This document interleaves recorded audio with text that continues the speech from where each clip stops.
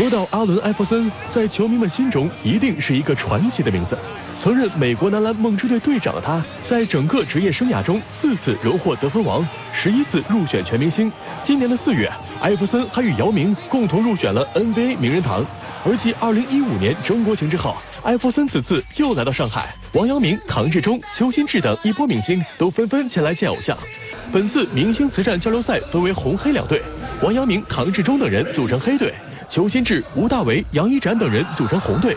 即便是慈善交流赛，两队也完全不放水，黑队攻势猛烈，红队也没闲着。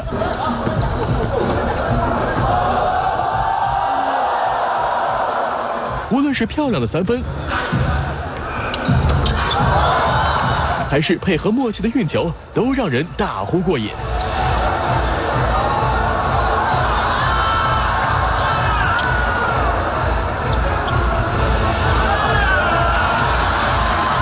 至于艾弗森，则是上半场执教黑队，下半场执教红队。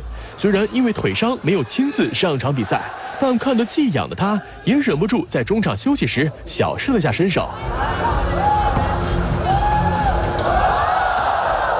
据悉，此次明星慈善交流赛的部分门票收益，以及前晚慈善晚宴上韩国健身女王郑多燕的捐款，都将捐赠予巴沙公益慈善基金，以帮助偏远地区的孩子们。